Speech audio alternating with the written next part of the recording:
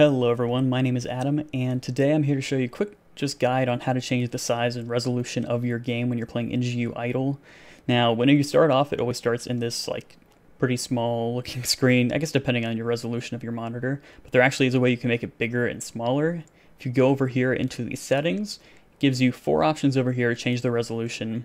You can make it really small. Let's say you have a really awful resolution on your monitor. I apologize, but you can change it like that to fill more of the screen, and then you can continue to adjust it, and great time to get online, and make it bigger and bigger.